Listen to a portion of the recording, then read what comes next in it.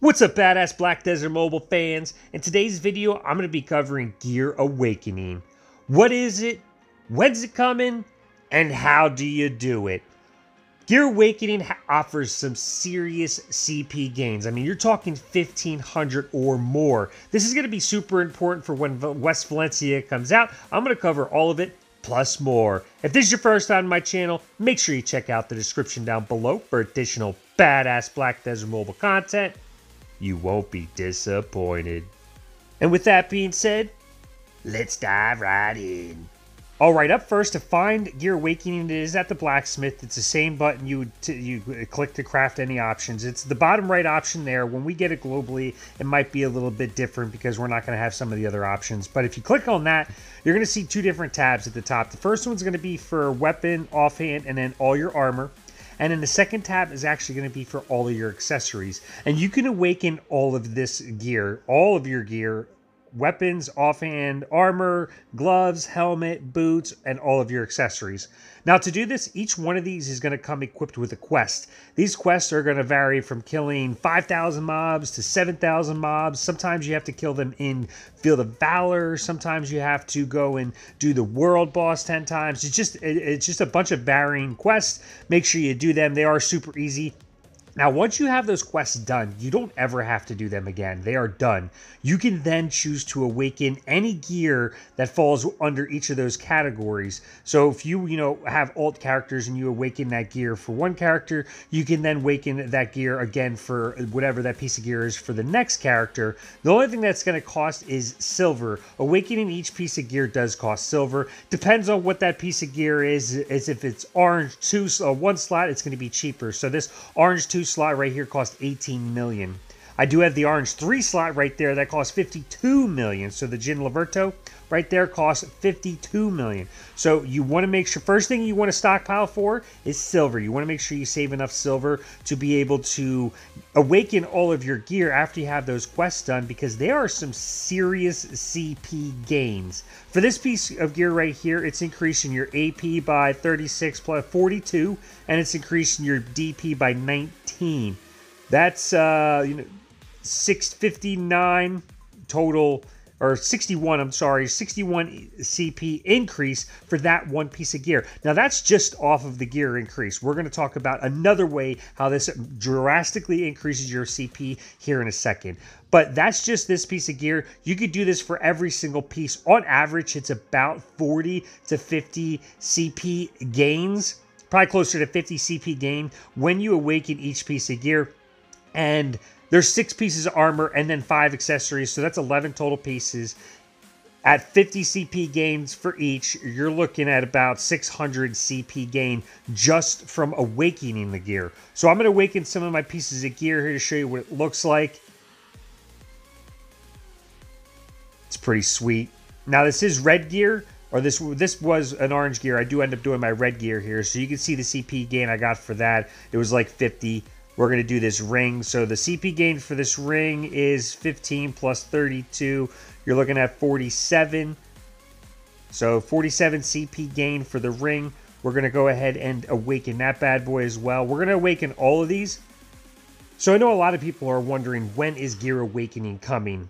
And I don't have a definitive answer. I don't have like any inside scoop. I can only make predictions. So you can't go home and quote me on it. Don't go in the comments bashing me saying I was wrong. However, I believe Gear Awakening is coming soon because West Valencia is coming soon. And the reason that they want to give us Gear Awakening relatively at the same time as West Valencia is because the CP increases of that territory is it goes all the way up to 10,000 CP. And obviously the highest we have right now is like what a little under 8,000 CP. So they need a way to increase our CP even for the free to play. So, you know, I'm at 5,600 CP on my main account. And if I was to pop over into West Valencia, I'd be able to do the first three territories. Obviously, as I level up my character, he's going to get stronger through the levels. I mean, it's like 20 to 30 CP gain per level from 70 to 80. So you're looking at a couple hundred CP gain to get to 80, but they still need to offer another way to uh, increase our CP. So if they come out with Gear Awakening, I mean, this is going to give you the opportunity to awaken your gear, give you that 500 to 600 CP gain right away. Plus, you have the uh, opportunity to enhance all or enchant all of these pieces of gear an extra two times as well. I'm going to cover that in a second. But this is an opportunity to increase your CP by about 1500. So if they give us this, that's going to put me as a free to play player, you know, I'm probably, you know, a little bit above average, probably not like crazy above average, but about 7000 CP that's going to put me. I'm going to be able to get halfway through West Valencia with that even with all that. So that's not even going to get me all the way through. So I feel like Gear Awakening is going to come relatively soon. I mean, within the month. West Valencia is going to come within the month as well.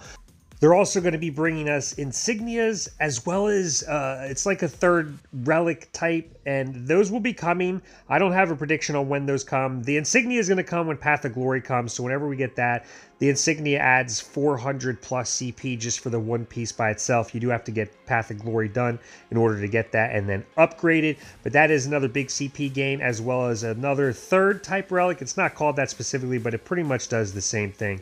So here's a quest here you can pick up. It does also offer experience and as you saw there, the force stones. So each one of those quests does offer the, the mini rewards as well. So it's great.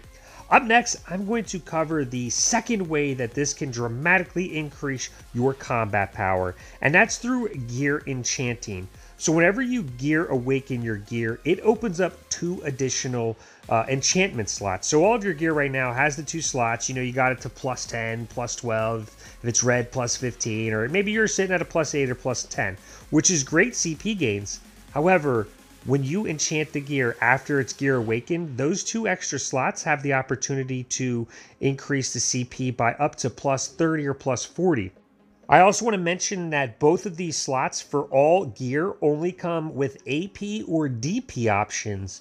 There's no movement speed or any branch damage options on the two extra enchantment slots, and that's effective for all gear, whether it's the boots or the helmet or the gloves. You're going to be able to the chance to choose between AP or DP. So for this example right here, it's giving me the chance to either get a plus 11 all the way up to a plus 34 DP for that slot. So the top slot is AP, the bottom slot is DP, but up to plus 34 and there's two slots. That's an extra 68 CP plus the 50 gain. So that's an extra, we'll say 120, 25 roughly combat power increase times 11. You're looking at 1500 CP increase in total. It is a huge increase. Now, the second thing you want to pay attention to here and prepare for, if you notice at the bottom down there, is the cost of each of these. So now an accessory, now this is a red one, uh, that's going to still cost a little bit more than you know your orange accessories but the orange accessories increase to 1500 of the essence and the the gear increases to 1500 of the residue so that's up from 100 and up from 250. So that's like six times, seven times more than they previously cost in the residue and that magical essence. So you want to make sure you stockpile essence and residue. And then secondly, if you notice there, the silver cost is a lot higher as well. So silver is going to be uh, heavily weighted with this new upgrade. You're going to need a lot of it to a gear awaken and the residue slash essence is super important as well. So to recap, you're going to need to go to your blacksmith, pick up the quest there when this comes out. Go and knock out all the quests. Make sure you have silver stockpiled. You're going to need at least probably five to 750 million silver to enchant all your gear and awaken all the gear. So save up your silver come in here, pick up the quest, go and knock out all the quests, then come back here, enchant or awaken your gear, awaken your gear. Then you're going to want to go over and enchant your gear. The second thing you're going to save up is a lot of magical residue and essence. I mean, uh, you're talking hundreds of thousands if you potentially can. I mean, you're talking 1500 to enchant the orange gear, and if you have red gear, it's costing 5000 each of those, as you can see at the bottom down there, like I have on this account for this server. So you want to make sure you stockpile those. They are super important, as well as a lot of silver.